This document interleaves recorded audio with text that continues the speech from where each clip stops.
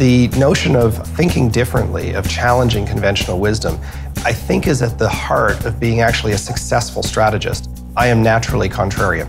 I don't have a particularly good track record of deferring to authority either, so it probably goes hand in hand. I think an enduring marketing strategy has to be able to recognize when there's an opportunity to do something differently in order to, in effect, set the new trend rather than simply capitalize on something that everybody can see happening. It's the difference between an observation and an insight.